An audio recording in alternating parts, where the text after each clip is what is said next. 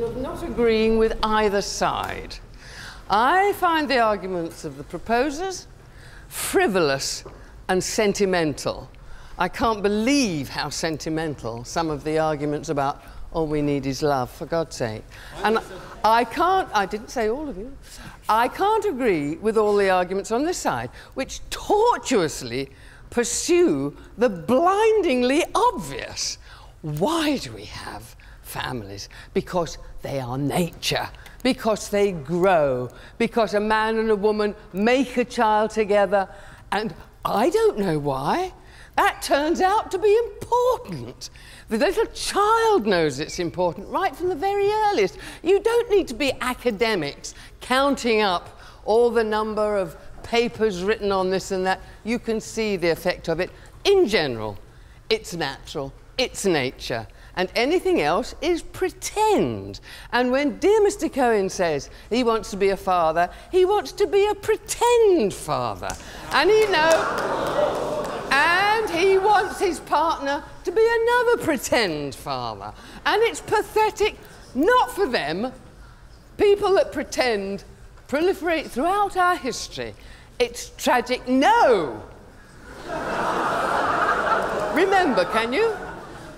It's tragic for the children. Think of Frederick II, the Holy Roman Emperor, wanted to find out whether speech in children was genetic. So he took a certain number of babies away from their mothers and brought them up without the sound of a human voice or a human caress or human contact. Do you think that's right? Because he believed in science. He really, really believed in science. But he was a wicked man. And the children were dead by the time they were three. I apologise in one respect for not taking points of order, but it throws you. So, having said it once, let it stand for all, if you don't mind. So, I think what you ought to vote for is a very sinister motion. A motion that says the government can decide that some children are selected by means quite beyond their control to be brought up by people um, without a mother and without knowledge of their father. I think that's very wicked. I don't think. Adoption happens, it's not arranged to have children without parents. It happens through catastrophe because the parents are drug addicts, because they don't care, they're delinquent, they die. No. There's all sorts of reasons. There's all sorts, you're not, there's all sorts of reasons why children need adoption. And nobody's even arguing that all. I just don't think it's a question of gays. I think it's just saying, look at me, look at me, look at me. It's not about bloody gays, it's about bloody children and what they need. And to willfully deprive them by allowing them. I mean, even you've mentioned Elton John, okay, very sad. He said last year he was heartbroken to see that his son realized realized at four that he didn't have a mother. And he said, We'll have to get another child. And he might have added, Because misery loves company. It's going to cause trouble.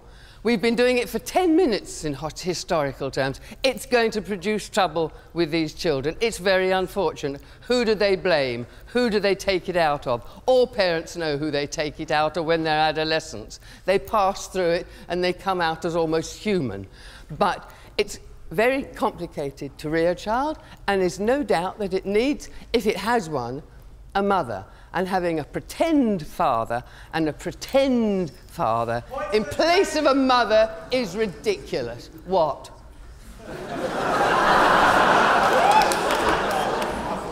what was that yelp? Pardon? Oh, how could it?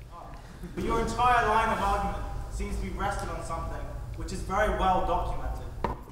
Oh, here we go. We're at Oxford. If it's not documented, it's not, it's not bloody true, is it? No, I reject all those ridiculous arguments. Ask yourselves. Ask yourselves.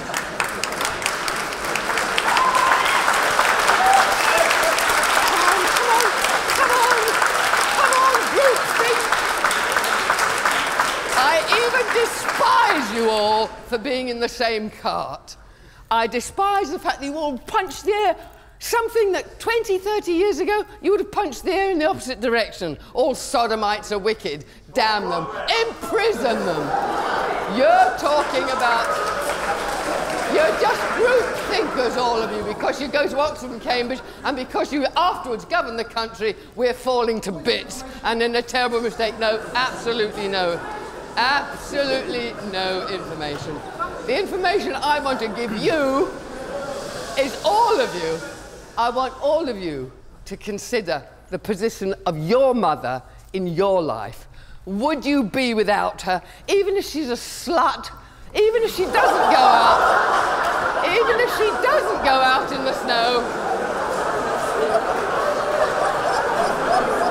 even if she doesn't go out in the snow and stand with you in your exams, even if she doesn't fulfill any of the criteria for what somebody or other believes is a good mother. She is your mother. She gave you birth. She gave you life. And you owe it to her to vote against this rotten motion. Thank you.